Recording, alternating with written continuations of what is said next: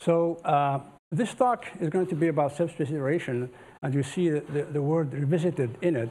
I'm uh, in the process of writing a few papers that had this title in it. So going back to some topics that have been looked at in the past, but uh, there's still more to be said.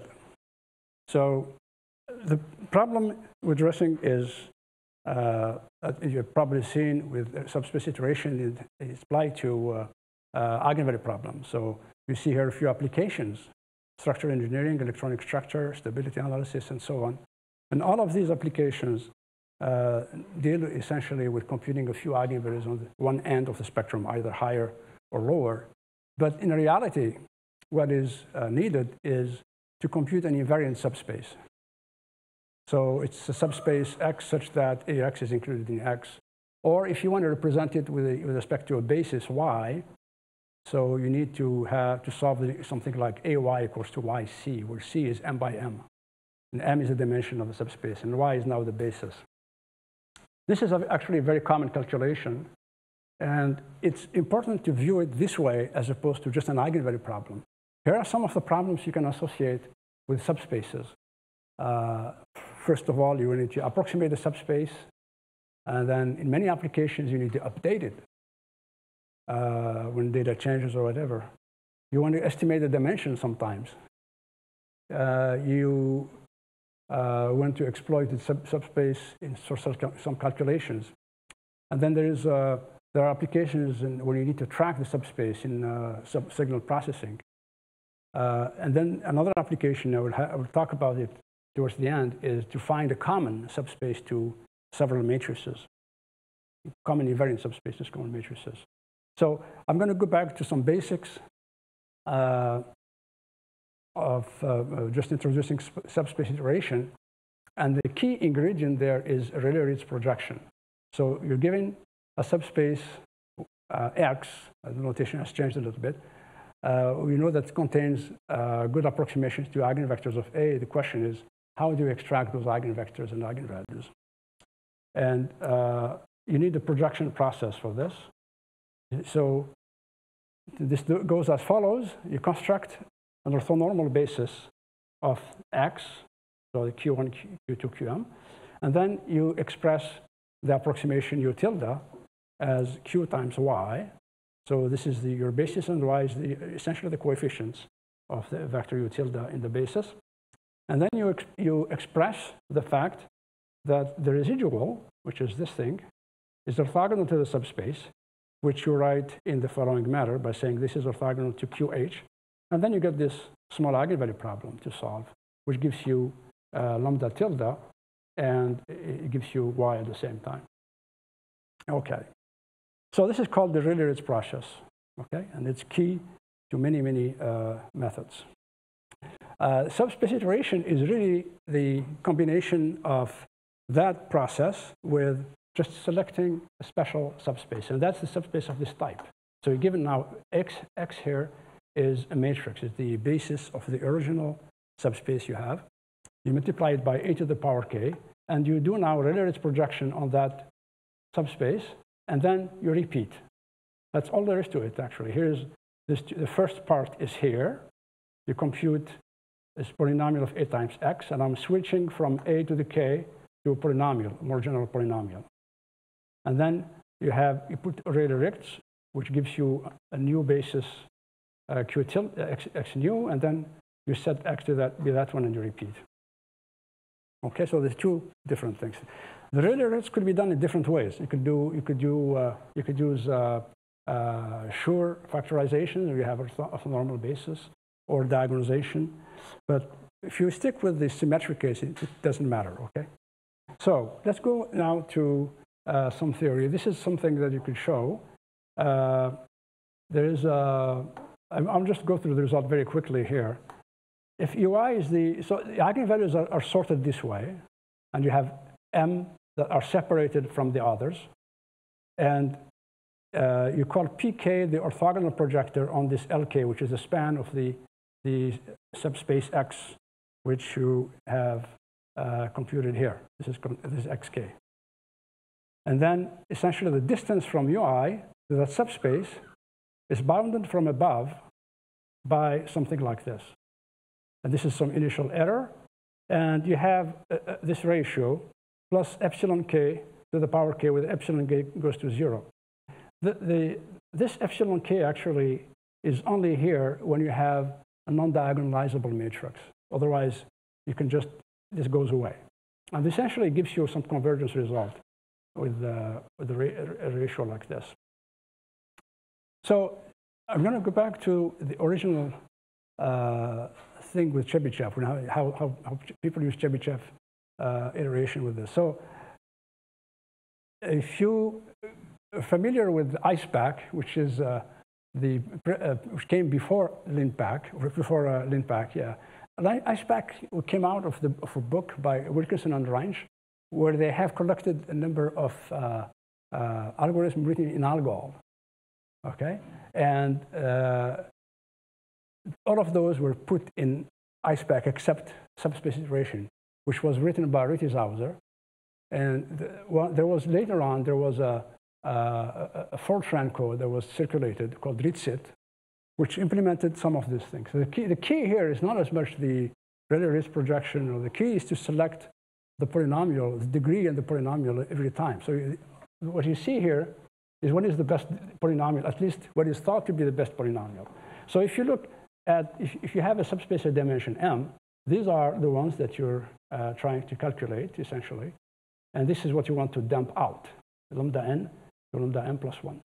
And so what you do is you take a Chebyshev polynomial that has uh, between the, essentially you map the matrix A into this new matrix here. So you shift it and, and scale it in such a way that the eigenvalues that you don't want are now between minus one and one.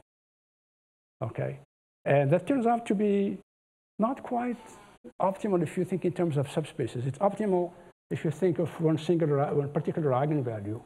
But not, uh, uh when you think in terms of subspaces, I will show later on some experiments. It's not quite uh, the best you could do.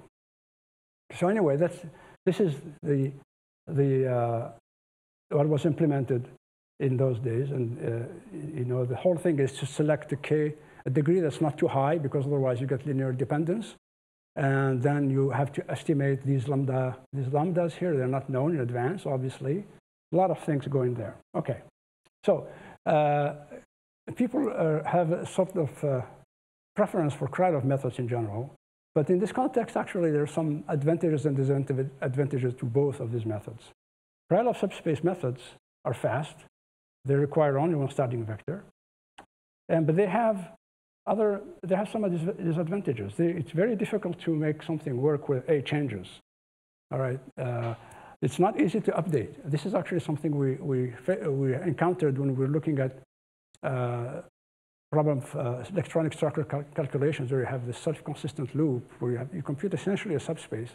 And when you, you compute it, if you, if you use Lanczos, then you have computed a subspace. And you want to restart a new subspace, then you need one vector only. And then you could use a block Lanczos, obviously, but it's not that easy. You need a lot of vectors that way. But so that, uh, this requires, uh, it, it's uh, uh an issue when you have uh, Uh, subspace to update. Another thing which, is, which was a problem for the same, uh, for the same uh, sort of problems we were dealing with is that if you do any sort of restarting, like, you know, they're essentially, they amount to deflation. And that means that the first eigenvectors you compute have to be accurate.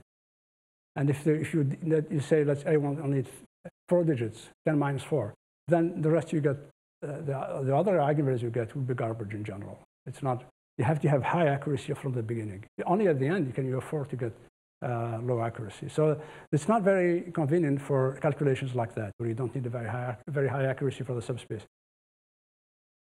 Subspace iteration, on the other hand, has these advantages. It's, the updates are easy.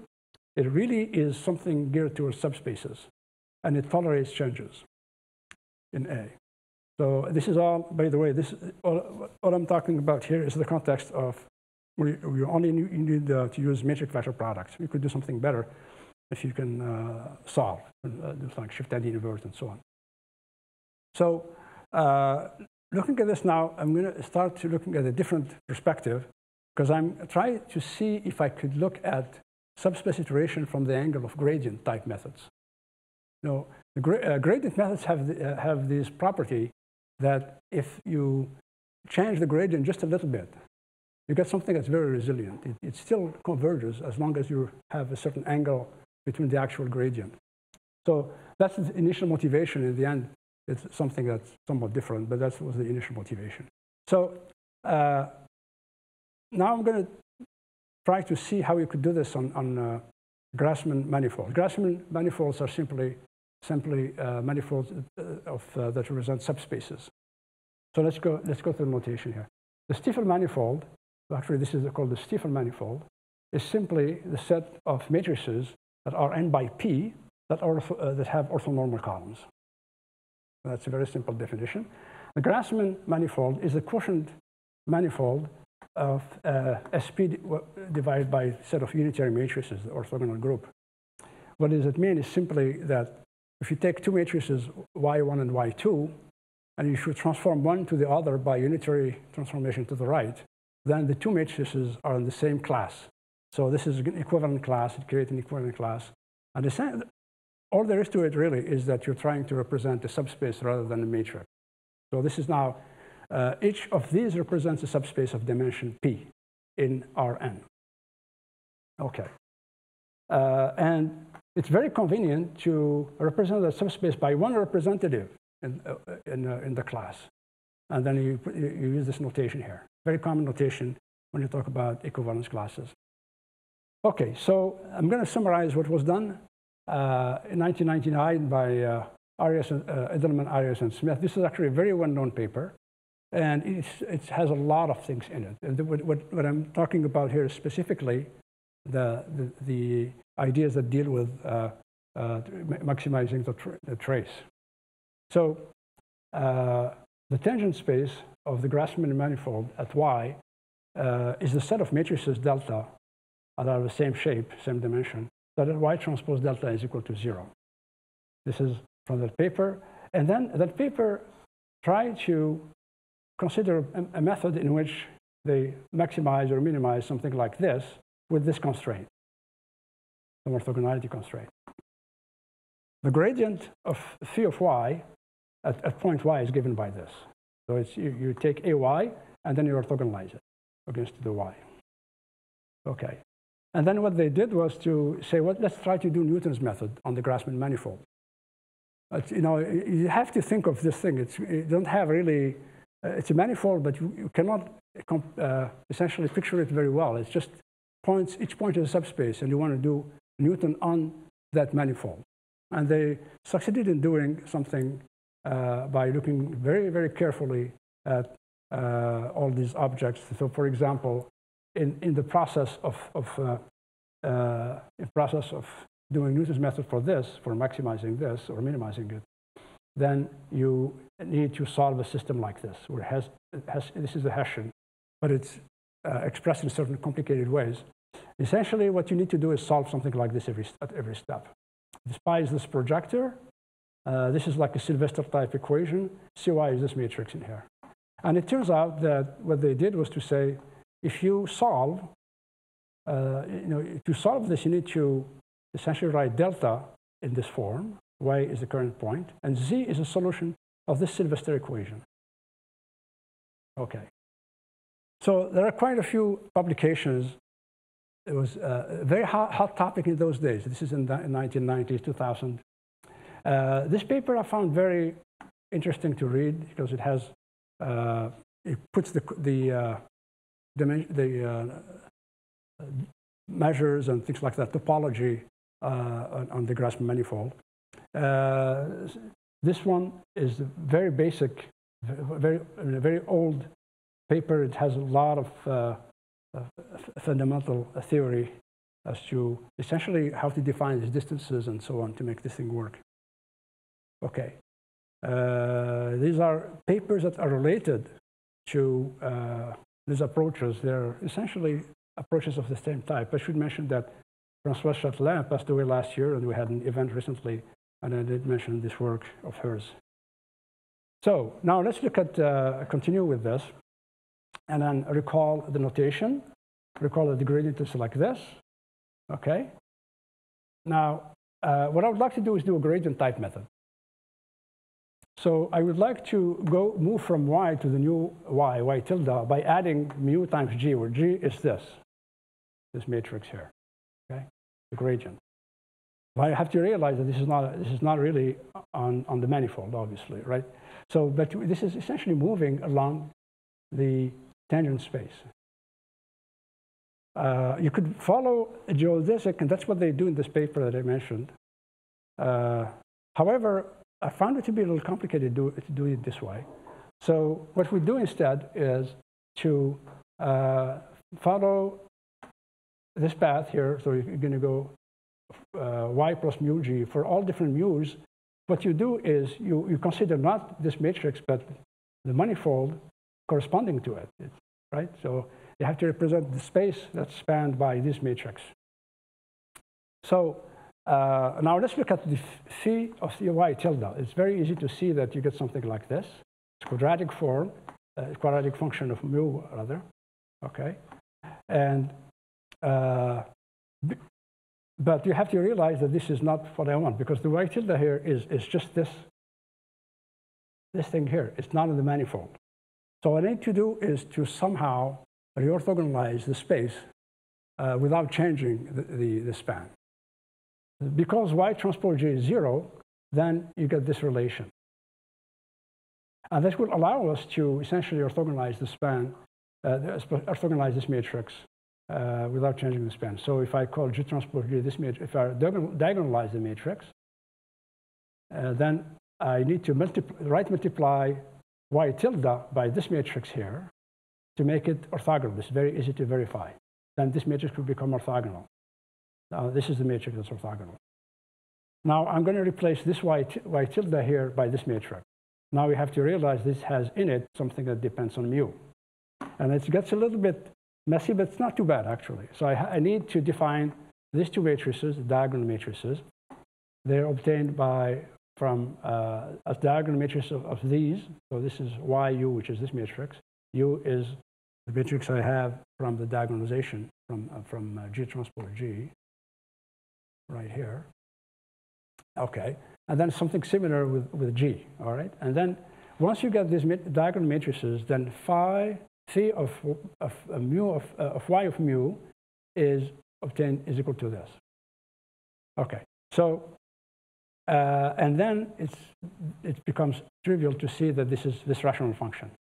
You have rational function here, and you would like to minimize this or maximize it if you're looking for the, the maximum. Uh, so I, I, think I actually am looking at the maximum in this particular uh, talk. So I'm going to try to find the maximum of this for all mu. Now we see that if, you, if mu goes to infinity, uh, this does not really go to infinity as, as we saw, uh, uh, as you had here. This one here, you could, you could have something that goes to infinity possibly here, right? but that's because the uh, y tilde was not properly scaled. Here now, it's, it's, exactly, you're doing exactly the minimization on the manifold or maximization on the manifold. So these functions here are easy to analyze. Can, the derivatives are here, and this, these derivatives are inverted parabola. Oh, okay. So I have uh, to uh, speed up a little bit. So then you can find the minimum and the maximum uh, of these uh, uh, where, where the, of these functions, and you can find an interval where you're, sure that the mix, maximum will be, will be located. It's really a matter of just uh, uh, taking, you know, you can find the interval and then discretize it and you find the maximum. So it's all doable. And here's the algorithm. Okay? So you, you compute, uh, you, this is your current G. You compute this, diagonalize this, you compute the alpha, and you can get mu, the optimal mu, use, using these formulas. And then you set the new uh, y and you compute the new g and you repeat. Now, how about conjugate gradient? So I moved from subspace iteration, which is more like Gauss-Seidel, to gradient, right? And now I'm going to try to see conjugate gradient. So this is work in progress. In the conjugate gradient, you do something like this, but you, you uh, the p here mixes essentially the, the current P and the old G, uh, sorry, the, the, the old P and the, the new G. And we use Polak-Ribière, which uh, is, uh, requires beta to be of this form. And then we do, we do an extra step, which is this one here, which is we project on the, manifold, the, on the tangent space. This is because I absolutely need this relation. And otherwise, these things will not work. So it's actually also essential to be on the manifold. So this is what we do. And then uh, you, you, get essentially this uh, algorithm here, uh, where you, this is just really, it's very much like conjugate gradient, except for extra steps like factorizations in here and so on. Okay, so let me give you a couple of uh, numerical tests here. So uh, this, these are two, just two matrices. One is finite difference matrix of, of 35 by 40, and then the other one is a matrix from the uh, collection. And these are small matrices. And what I would do is just take dimension 8. Subspace iteration done here is with the optimal shift. And also for Chebyshev, I have the two, two different methods. I'll tell you why. So here's the, on the left side, I'm looking at one measure of, of uh, performance, and that is the trace. So the trace, this is subspace iteration. This one is Chebyshev, the optimal Chebyshev, the one that's classical. And this one is the one that I, for which I found the optimal, my optimal shift. Uh, it's not the best one from the theory because it's a subspace. We're not looking at one specific eigenvalue. And here, what you do is you have a different you have a different measure, and that is that measure is the uh, invariance. Okay, and again, you uh, you see here uh, the gradient. By the way, I didn't show the gradient. The gradient is is the, the pink one, and then you the conjugate gradient is like at the top here. Here's conjugate gradient, and then you have the subspace iteration here, Chebyshev gradient, and then the, the, the Chebyshev with a different shift. That's a different example with, with uh, that matrix Ikurbey, and uh, very similar picture. In this case, Chebyshev actually overtakes conjugate gradient at the end. Okay, so that's really all I had to say about this. The only thing, uh, I have two more minutes. Yeah, so I'm going to say very quickly something about joint diagonalization. This is a problem that's very important in uh, uh, signal processing, which you, you have a set of matrices, A1, A2, AP, oops, uh, and you want to find a unitary matrix Q such that each Q transpose AIQ is close to a diagonal. So you're trying to diagonalize them at the same time, okay? And this is uh, the standard problem. The standard problem, the AIs are dense. And the, the classical algorithm that has been uh, uh, used in this context is a Jacobi-like algorithm. We do use rotations to eliminate the, the zeros for all the matrices, and that the cost is order p n cubed. So uh, we, as you see here, the, the, the measure of, of uh, the, objective function that's used is this one here. Off means off diagonal. And what we do is we try to use a subspace iteration approach. So you, you have a subspace, uh, use, you try to find a common matrix Q. Now for a large matrix, you cannot use what, uh, the uh, Jacobi approach. So you try to find Q so that AI, Q minus Q DIs are all small. And that means you use an objective function like this. And I'm going to make the story short. This is the story a little shorter than uh, I had planned. But this is, you can use subspace iteration for each of the subspaces. And then you, you put all, you, you gather all this, the, these XIs and you do an SVD. You get the subspace that's common, etc. And now what you're trying to do is use this approach I talked about with uh, uh, using the gradient and so on, conjugate gradient and so on. We're trying to combine that with this approach. So concluding remarks. Uh, so there's a lot of tasks that uh, deal with the varied subspaces, and it's very beneficial to look at these from the angle of uh, subspaces as opposed to uh, eigenvalue problems. Krylov methods are not very good for these types of problems, but they tend to be very good, amazingly powerful for other, other techniques. And I will end by saying happy birthday, Claude. Thank you.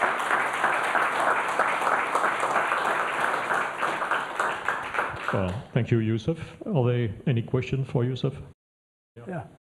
I was wondering about the last application you had about joint diagonalization. You assume the matrices may not be joint diagonalized